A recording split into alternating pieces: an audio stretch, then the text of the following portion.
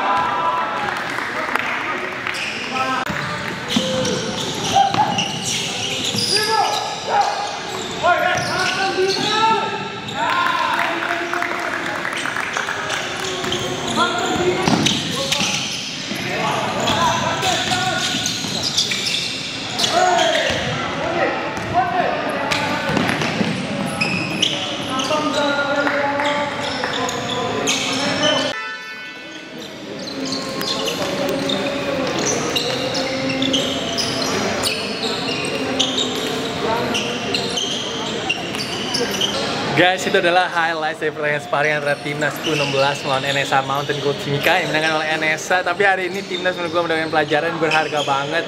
Mereka hari ini kebanyakan banget colongan offensive rebound sih. Jadi pelajarannya adalah mereka harus lebih hustle lagi. Dari timnas of course uh, Ergi dari nomor uh, nomor 06 jelas ya hari ini dia nembaknya sih lumayan on fire. Uh, tadi Brian juga nomor 09 juga cukup bagus di pertandingan hari ini tapi yang lainnya hari ini nembaknya lagi pada sayur. Semua ada banget EO nya sih. So kita harus dievaluasi lagi sih agar mereka take care the ball uh, better in the next game.